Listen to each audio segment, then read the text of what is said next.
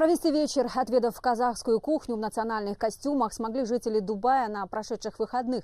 Такая возможность появилась в рамках международной выставки Fashionity 2017. Гости ярмарки познакомились с традициями и культурой около 20 государств, в том числе Мексики, Аргентины, Азербайджана, Украины и других стран.